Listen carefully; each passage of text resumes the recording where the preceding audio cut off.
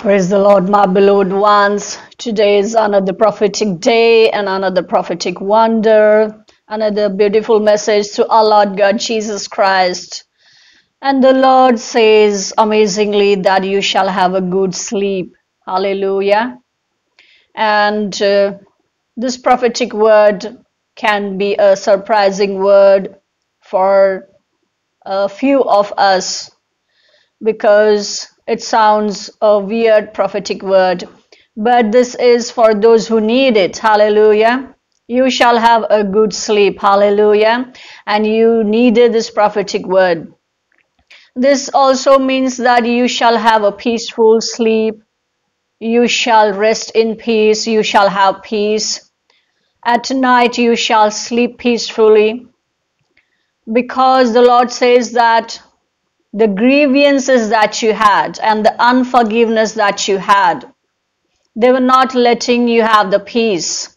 And due to that, you were not able to sleep peacefully at night. And most of us have this problem. But the Lord says, Judge not.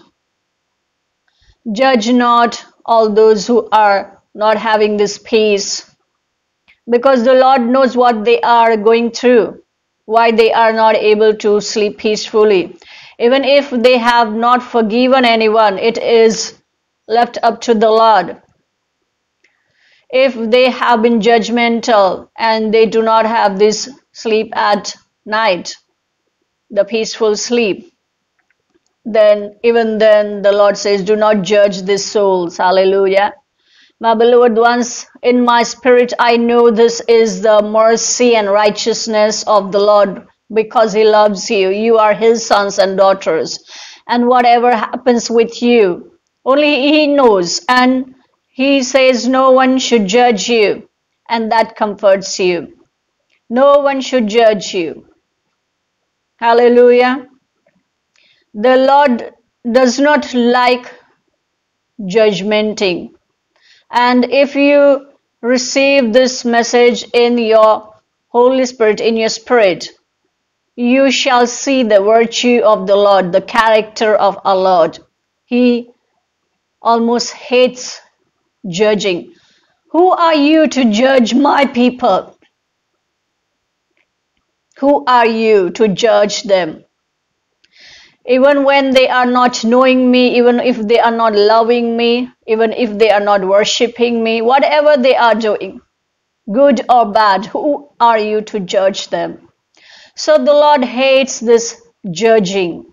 And the Lord says, No one shall judge you. Because a couple of you, the Lord says, they have been grieved because of the judgment so the Lord talks to those who have been judging. Why are you judging?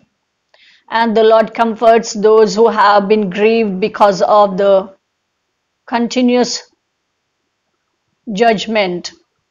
Hallelujah. No brother or sister should judge any other brother or sister. And this I always keep on saying in my prophetic messages because no one is perfect. I am not perfect. You are not perfect. He is not perfect. She is not perfect. No servant of God is perfect. No man of God is perfect. But when you are imperfect and when you judge others, that grieves the Holy Spirit. You talk as if you are perfect. That is what the Holy Spirit doesn't like. And because of the grievances within you, you were not able to have that peace. But with this prophetic word, the Lord says that the grievances shall be removed. And the Lord also says that you did not judge those who judged you. You did not have to forgive them because you did not charge them with anything. Even then, when the judgment came upon you, even when you are blameless, that grieved the spirit and you are restless. because it is every time you do something good, you are judged. Every time you move forward, someone comes and gives you new pain. The old pain is gone and the new pain comes. The old judgment is gone and the new judgment comes. The Lord says that He is going to finish it all with the prophetic word. So it doesn't matter whether people are judging you or not, you shall not be offended. He understands everyone. He understands those who are judging. He understands those who are being grieved. He understands everyone. He understands those who have been in unforgiveness, those who are not able to forgive one another. He also loves those who do not charge others but are offended.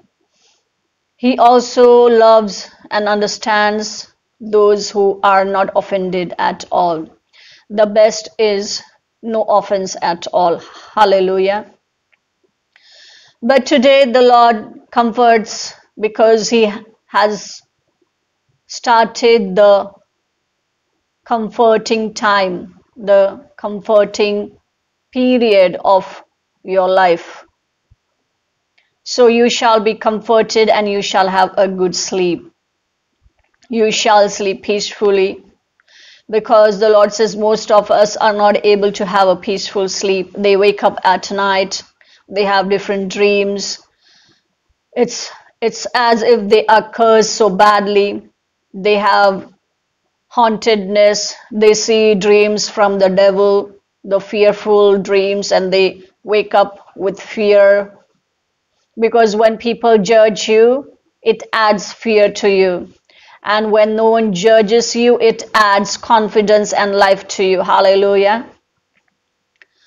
you had been telling it to the lord how long it's since the beginning the people keep on judging me and you know i obey you I am blameless. I've been following you. And this thing doesn't stop. But the Lord promises you. The Lord says, I have a good news for you. And He shall do this miracle for you. You shall have a good sleep. Those who have been judging you, they have been judging the Lord as well so their mouth will be shut. The Holy Spirit testifies. They have accused you falsely. The Lord says, You have been a good teacher and you have been condemned to be a false teacher. You have been a good prophet. You have been condemned by word that you are a false prophet. You have been a holy man of God and they abused you you have been a holy sister in Christ, but they looked at you with no dignity. So all these grievances and the judgment from those who judge others, it has made you restless. But now, since the Lord is bringing us up in His rest, so your soul shall be comforted your heart shall be blessed you shall have peace and you you will have good sleep. Hallelujah. You will have good sleep indeed and you will smile says the lord. When you are asleep you shall smile. This is what i saw in the vision for you.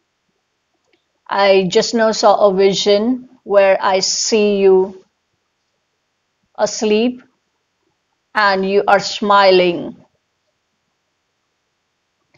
That is where the grievances are gone, you are forgiven,